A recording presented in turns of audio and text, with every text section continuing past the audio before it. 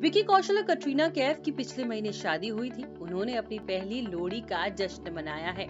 जी हाँ शादी के बाद दोनों की ये पहली लोहड़ी बेहद स्पेशल रही। अपनी प्यारी सी फ़ोटोज़ फैंस के बीच शेयर करते हुए उन्होंने लोहड़ी की बधाई दी। कटरीना कैफ ने इंस्टाग्राम पर अपनी स्टोरी में लोहड़ी त्योहार की कुछ झलकियाँ शेयर की हैं, जिसमें वो अपने पति विकी कौशल के साथ बेहद खुश दिखाई दे रही हैं। वहीं विकी कौशल ने भी फ़ोटोज़ पोस्ट की है। पिक्चर में आप देख सकते हैं, कटरीना कैफ ट्रेडिशनल लुक में है तो कैजुअल लुक में विकी दिखाई दे रहे हैं। दोनों ने एक दूसरे को साइड हक किया हुआ है। दोनों बेहद खुश नज़र आ रहे हैं और साथ ही प्यार में डूबे दिख रहे हैं। बता दें, कटरीना और विकी ने बीते 9 दिसंबर को राजस्थान के सवाई माधेपुर में शादी की थी। हाल ही में इनकी शादी को एक महीना पूरा हुआ है।